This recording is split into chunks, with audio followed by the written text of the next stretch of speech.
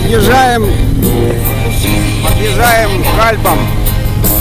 А, начали возвышаться альпийские вершины. И отсюда это очень хорошо видно. Сейчас будут туннели,